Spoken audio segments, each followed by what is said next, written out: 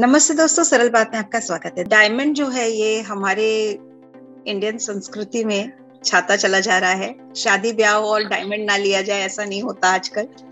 Diamond सबकी पसंद है, पहली पसंद है, लेकिन एक नॉर्मल ग्राहक डायमंड के बारे में ज़्यादा जानता नहीं है। जब वो डायमंड खरीदने जाए तो उसको किन किन बातों का ध्यान रखना चाहिए, जिससे कि वो अच्छी क्वालिटी का डायमंड अच्छे प्राइस में लेके आ सके?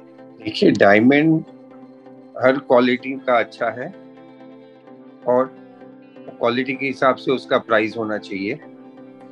ऐसा नहीं है कि जो बहुत क्वालिटीज है डायमंड में, बहुत कलर्स है तो हर चीज़ की एक कीमत है तो वो हिसाब से। So उसके लिए first thing they've to buy from a nice person reputed person कि उनको जो वो चीज़ बोल रहे वो दे रहे ये मांग रहे हैं, वो दे रहे हैं। एंड देन उसको सप्लीमेंट करने के लिए एक सर्टिफिकेट भी निकलता है हर प्रोडक्ट का जो उसको स्पेसिफाई करता है कि भाई हाँ ये चीज़ ऐसी है तो वो एक क्यूसी पॉइंट हो जाता है। So that is the main thing that they have to take care and of course the budget शादी हो या कुछ भी हो budget is very important you should always stick to your budget diamond normally कितनी वैरायटीज में आता है ऐसा एज सच डायमंड वैरायटी ऐसा नहीं होता है उसमें क्वालिटी और कलर होता है कटिंग होता है। जैसे V V S V S internally flawless S I ऐसे सब क्वालिटीज आती है। और कलर्स आते हैं डी ई एफ़ जी जिसमें डी सबसे अच्छा है। तो कलर क्लैरिटी फिर उसमें कटिंग उसकी सिमेट्री उसका पॉलिशिंग ये सब चीज़ें इंपॉर्टेंट है। तो जो प्राइसिंग होती है डायमंड की उसको वो कौन से बेसिस पे होती है फिर? इसकी तीनों चीज़ें इंपॉर्टेंट है प्राइसिंग के लिए। कलर भी क्लैरिटी भी कटिंग भी सब कुछ।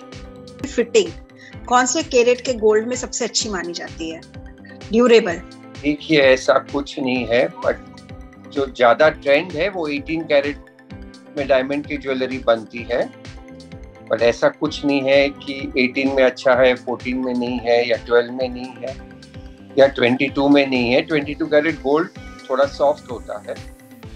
तो इसके लिए डायमंड की ज्वेलरी उसमें नहीं बनती है 18 में बनती है क्योंकि 18 is little harder than 22 so that's the only reason so diamond की सेटिंग सिल्वर में भी होती है वो भी अच्छी है ऐसा कुछ नहीं. Thank you so much sir thank you very very much आपने बहुत ही छोटे टाइम में बहुत ही अच्छी इंफॉर्मेशन दी. दोस्तों, अगर आज की इन्फॉर्मेशन आपको अच्छी लगी हो तो इसको ज़्यादा से ज़्यादा लोगों के साथ शेयर कीजिएगा और हमारा चैनल सब्सक्राइब कीजिएगा। चैनल सब्सक्राइब करते वक्त बेल आइकॉन ज़रूर दबाइएगा, जिससे कि आपको हमारे लेटेस्ट वीडियो की नोटिफिकेशन मिलती रहे। हम फिर मिलते हैं किसी नए और इंटरेस्टिंग टॉपिक के साथ। Thank you